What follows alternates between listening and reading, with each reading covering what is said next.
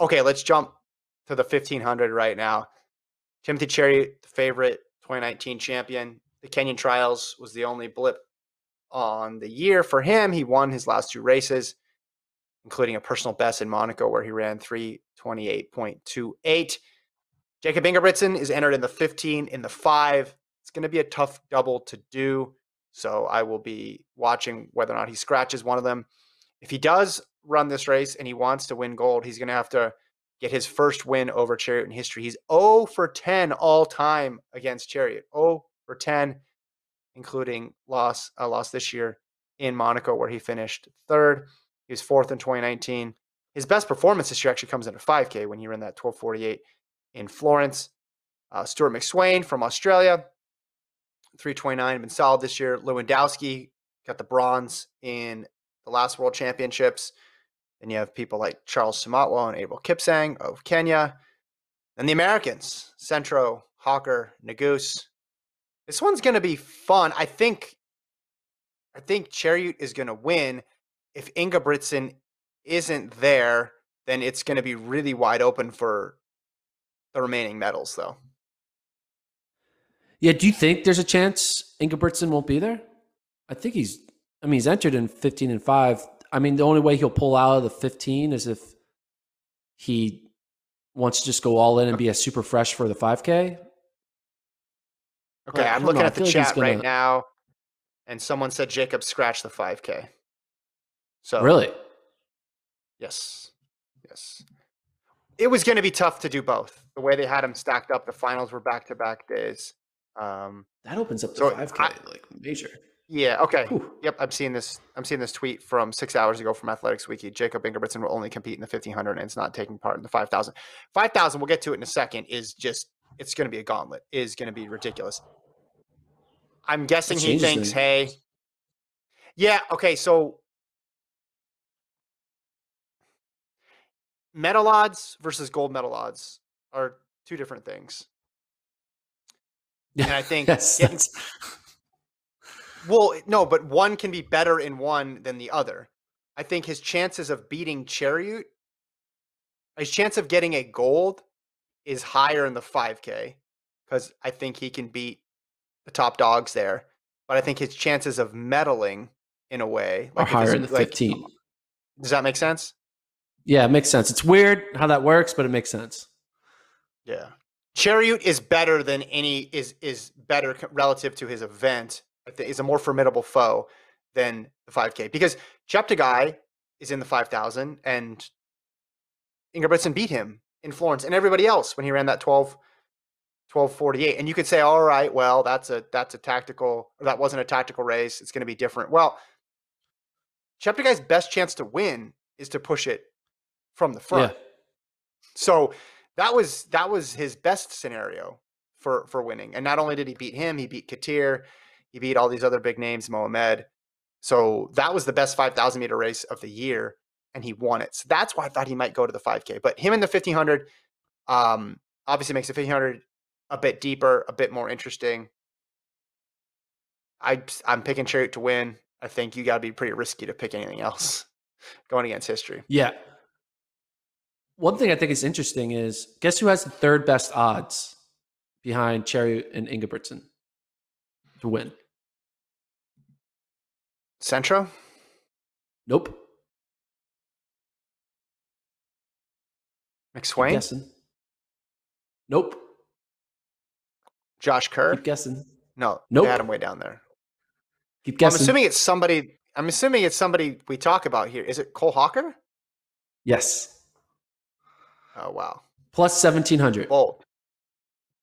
Wow. Cole Hocker. Plus seven. Plus seventeen hundred.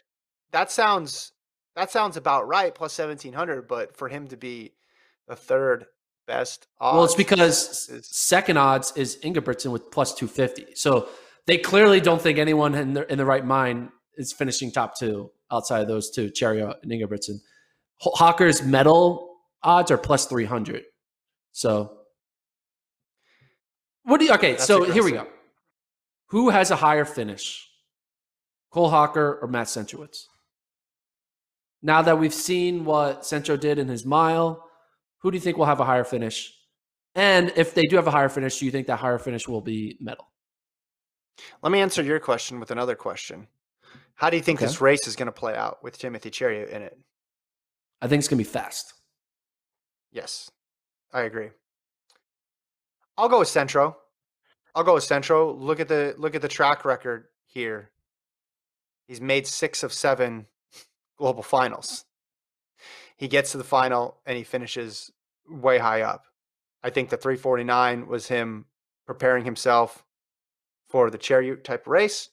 So I'll I'll take Centro as the first American, but I think I think he'll be out of the medals. I like I think McSweyn and Kerr are being really overlooked based on their seasons. Yeah, Kerr just did a, a time trial where he ran a, a 146 800, but went out in like 55 and then closed in like 50. So that's pretty impressive. Trying to show like, hey, being able, can you close hard off of a, a fast third lap? Um, yeah, I think Josh Kerr is being slept on, but you know who ultimately is the biggest person that we're all sleeping on? Marcin Lewandowski. Lewandowski. Lewandowski. Yeah. Lewandowski. Poland, yeah. Bronze. And he, He well, is he, he's gonna he's gonna medal. guy. Yeah. Yeah. Yeah. No, It's I I think yeah, Cheruiyot, Cheruiyot, Ingebrigtsen, Lewandowski, McSweyn, Kerr, I think are my guys up front. I think those. I think those will be the. That'll be the group that gets the medal. I know I I like narrowed it down to six for the medals. It's like here's a long list of names, and all these people can medal. But I, you look at McSweyn's year; it's really it's really good. You look at you look at Kerr's. We're getting excited about Centro's 349 mile. Kerr ran a 331 800 much earlier in the season. Yeah. McSweyn And that th- McSweyn was Yeah, I'm- I don't- 334 at his championships. He lost to Jye Edwards, then uh, third in Gateshead, second in Doha, one in in the Bislett Games, and fourth in Monaco. He's and he got second in the 3K at Gateshead that was super fast with Kejelcha. He's pretty much in the mix in every race he runs. McSweyn. Yeah. I'm interested to see how the first two rounds play out. Like, luckily, I think, hopefully, I'm not sure how this works with the odds, uh, but I can wait through the first two rounds before I have to make my bet. Right? They don't close Mhm. off the betting odds after the before the prelims, do they? That wouldn't make any sense. I have no idea. I have no idea. How, Yeah. No, I would guess They gotta let me wait till the final. Because once I watch Well, those that them, second that, that semifinal, the odds will change, but I'll be able to really understand who I truly think can be the person to kind of sneak into that top three with Cheruiyot and Ingebrigtsen. So, but I'm agree with you. I think Also- Cheruiyot's going to win, and I think Ingebrigtsen will get second. Okay, next question. Which country will do the best? If we were scoring this by country, let's say top, you can run three, but top two score. So you got Kenya with Cheruiyot, Simotwo, and Kipsang. You got Norway with Jacob and Filip. You have Australia with McSweyn, Hoare, and Jye Edwards. You have the UK with Kerr, Wightman, and Heyward. They got a Josh and two Jakes. And then the US has Centro, Hocker, and Nuguse. Now that would be a fun thing to bet on, right? That would be fun to like bet on which country scores the most cross country. Uh, like you score at 10, 8, 6, 5, 4, 3, 2, 1, like NCAA scoring Sure. style, which country would win? I mean, Kenya is in good position, right? They Because a they're going to get 10 points. They got a low stick. Um, Norway, I don't see the other Ingebrigtsen doing that well, so I'll take them out. US, I think, could put three in the final, but I don't see them having multiple guys in the top half of the race. I think only maybe one of them will be in the top half. So they're kind of, I don't know yet. Great Britain, I think, could put two people in the top half.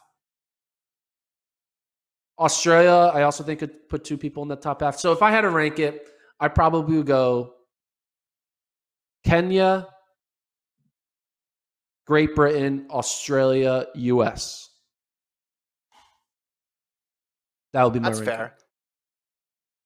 So to go back to the last championships, Kenya got was first and seventh. Norway only had one in the final. Great Britain win 5 6 11, which is solid. And then the US went 8 and 10. Watch out for Australia. Oliver Hoare's been solid this year.